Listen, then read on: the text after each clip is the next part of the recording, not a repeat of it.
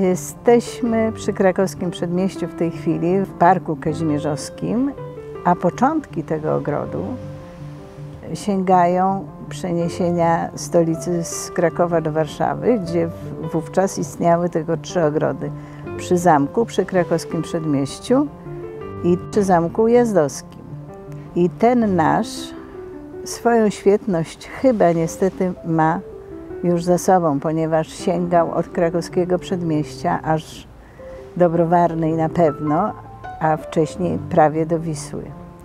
Tu powstał pierwszy ogród botaniczny w 1811 roku e, u podnóża Skarpy Uniwersyteckiej i ten teren należał do Uniwersytetu do lat 70. i do lat 70. E, pod Skarpą był ogród farmakognostyczny należący do Wydziału Farmacji. A teraz jesteśmy w ogrodzie kazimierzowskim, który też ucierpiał jak budynki w czasie wojny. Drzewa w Warszawie ucierpiały i drzewa w Warszawie nie istniały. Po wojnie trzeba było szybko zazielenić stolicę i tu teraz przeklinane topole stanowiły yy, no, główne nasadzenia na uniwersytecie. Planów powojennych w 1948 roku yy, zazielenienia całego ogrodu kazimierzowskiego Y, tych planów było kilka. Był za ten ogród brał się i Gerard Ciołek z Romanem Kobędzą, ale także Romuald Gut z jedną z najlepszych projektodawczyń ogrodów, czyli y, panią Szolcówną. Na uniwersytecie to jest 60 gatunków drzew i około 30 gatunków krzewów. W tej chwili Jesteśmy w okresie rzeczywiście śmierci większej ilości topól, ale y, są inne drzewa, nasadzenia, czyli już młodych i pięknych, co jest do obejrzenia na pewno w czasie wiosny i jesieni. Nasz ogród w tej chwili jest ogrodem złożonym z wielu ważnych okazów dendrologicznych bo po śmierci drzew takich jak topole włoskie czy topole chińskie staraliśmy się zawsze dosadzić coś ciekawego, co by pozwoliło Państwu poznać nowe, nowe nasadzenia, nowe drzewa i nowe, nowe gatunki przede wszystkim. E, rozweselałoby ten teren i pokazywało niezwykłe możliwości przyrody, które można zauważyć tutaj i na wiosnę, i jesienią.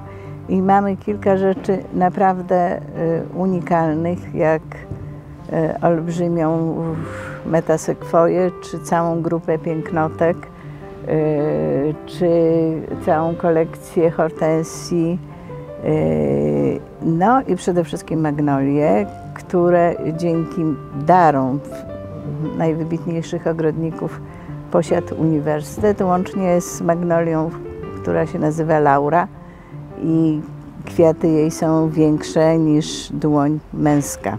Jesień jest pod znakiem przebarwiających się klonów, choćby klonu y, strzępolistnego, czy, y, czy dębów, czy właśnie pięknotek albo barbuli kwitnącej do października. O, czy naszego pomnika przyrody, który się wybarwia też pięknie, czyli korkowca amurskiego albo tulipanowca, który się przebarwia. Na teren uniwersytetu wchodzimy Aleją Lipową, która z założenia miała być obsadzona lipami warszawskimi.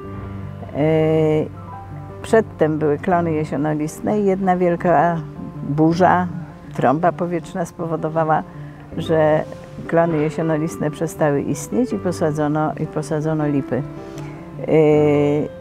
I zbliżamy się w ten sposób do najstarszej części, najstarszych drzew uniwersyteckich, które to, którymi są wiązy. Rosną one koło budynku Wydziału Prawa, rosną z prawej strony i z lewej strony biblioteki. Yy, no, one mają na pewno ponad 200 lat.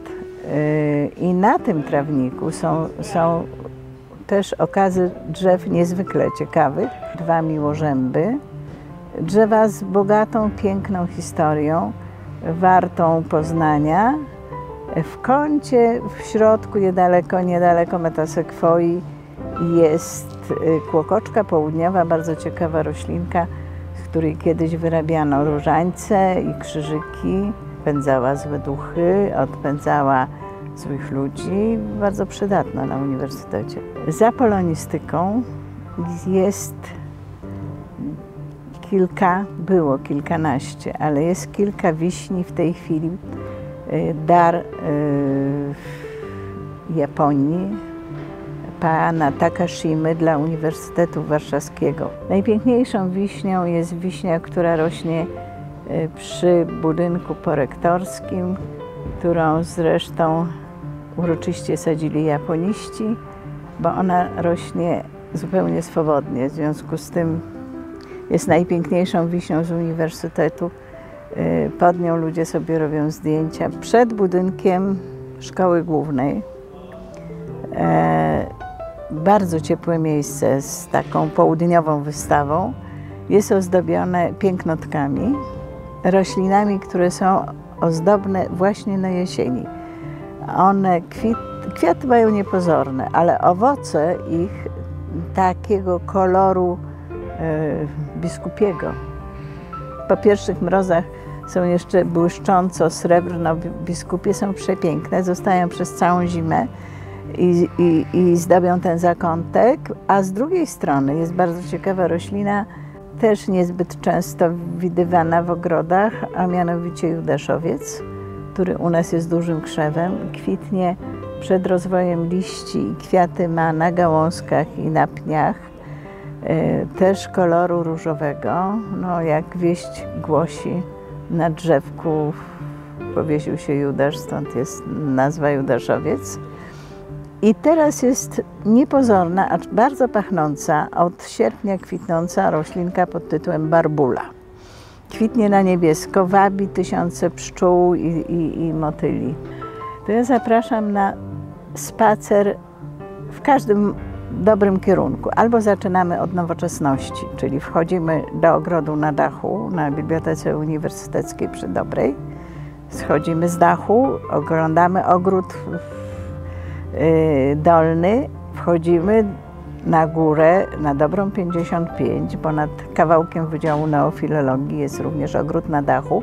Jak już zejdziemy z ogrodu y, przy dobrej 55, to skarpą, pamiętając o tym, że kiedyś na tej skarpie był pierwszy ogród botaniczny w Warszawie, a później ogród farmakognostyczny przy Wydziale Lekarskim, wchodzimy do chłodnego, cichego, spokojnego ogrodu kazimierzowskiego, pełnego kwiatów, pełnego kolorów, pełnego ptaków, jeży.